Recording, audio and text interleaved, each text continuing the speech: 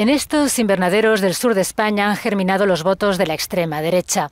En el Ejido, un municipio de 90.000 habitantes, casi un tercio de la población son inmigrantes. Trabajan a 40 grados de temperatura en verano y bajo el agua que deja pasar el techado de plástico cuando llueve. El ejido se ha enriquecido gracias a la mano de obra barata, lo que no evita la animadversión hacia los migrantes. Veo que es una hipocresía total, porque si de un día para otro los migrantes cesaron, que, que, que, que se van a su país, van a ir en busca de trabajadores, este campo necesita de más mano de obra, tal como la tenemos aquí, que no tenga formación para poder sacar beneficios. El rechazo a los inmigrantes explica en buena medida el éxito de Vox. Aquí el partido de extrema derecha ha ganado las elecciones con un 29% de los votos. Un resultado que inquieta en el barrio de las Norias, donde viven buena parte de los extranjeros.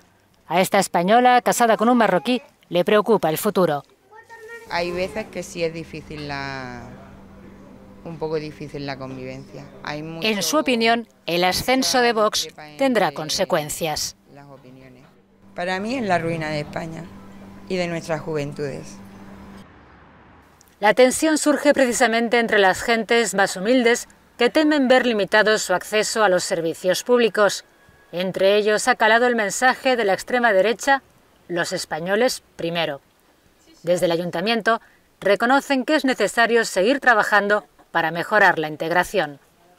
Nosotros tenemos una capacidad de acogida y en este momento sí que está habiendo problemas en algunos casos de que algunos alumnos se escolaricen cerca de su domicilio. Hay que trabajar mucho más el tema de la inmigración, que no lo hemos tomado, no se ha tomado lo suficientemente en serio. Pero este es también un voto de castigo hacia los partidos tradicionales, como explica este simpatizante de Vox. Nos sentimos Mm, decepcionados, abandonados por la Junta de Andalucía.